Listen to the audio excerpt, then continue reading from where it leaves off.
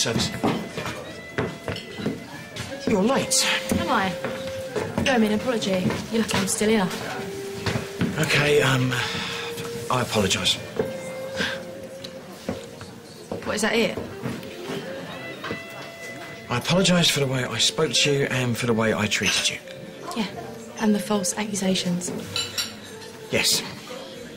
And you promise not to treat me like that again. Yes. That wasn't so hard, was it, Ian?